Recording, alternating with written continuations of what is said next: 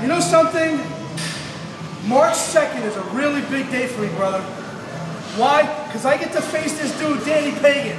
Bad boy. Back at that. Yeah, bad boy, Danny Pagan. We know something, Danny? The BWF just signed a new match. Falls count anywhere in the building, Danny. Anywhere in the building. That means I can beat your ass from pillar to post. I can crack you over the head with a chair. Anything goes, Danny. And it's about damn time you and I faced each other. Because let me tell you something, Danny. Whether you like it or not, you're gonna realize why I'm AC Smooth and I'm gonna kick your ass from pillar to post that night.